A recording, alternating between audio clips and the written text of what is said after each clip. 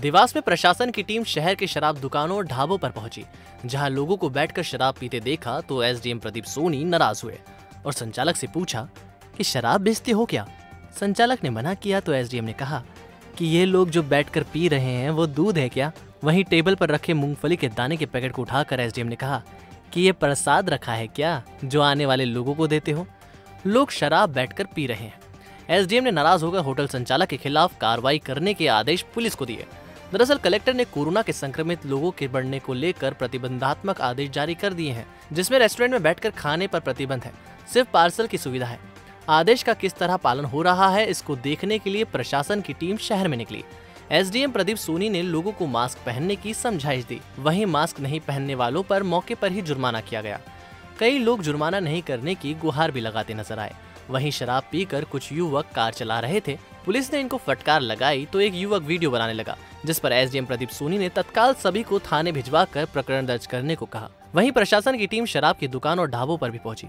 Bypass स्थित hotel Sai plaza पर SDM Pradeep Soni ने मूंगफली के पैकेट उठाकर संचालक से पूछा कि ये प्रसाद है क्या, जो आने वाले लोगों को देते हो? यहाँ लोग बैठकर शराब पी रहे हैं। टेबल पर बैठकर शराब पीने वालों को देखकर एसडीएम ने संचालक से पूछा कि शराब बेचते हो? संचालक ने मना किया तो एसडीएम ने कहा कि ये लोग जो बैठकर पी रहे हैं, वो दूध है क्या? शासकीय शराब की दुकानों पर कर्मचारी बिना मास्क के नज़र आने पर एसडीएम ने नाराज़गी ज़ाहिर की। वहीं शराब लेने आए लोगों के गोले में खड़े नहीं होने को लेकर एसडीएम ने कहा कि यह दुकान के बाहर रंगोली बनाई है क्या? लोग गोले में क्यों नहीं खड़े हैं? क्या मज़ाक चल रहा है?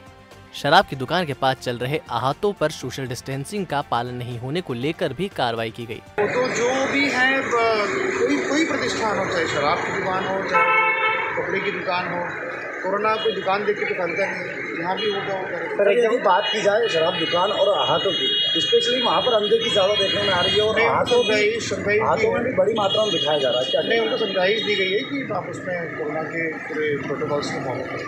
और हमने चालान भी बनाए आपके सामने ऐसा नहीं सर ढाबों की बात की जाए यदि ढाबों पर आप गए थे वहाँ पर शराब भी परोसी जा रही थी और सोशल डिस्टेंसिंग का भी किसी तरह वहाँ पे हम लोगों ने बने की कार्रवाई होती है।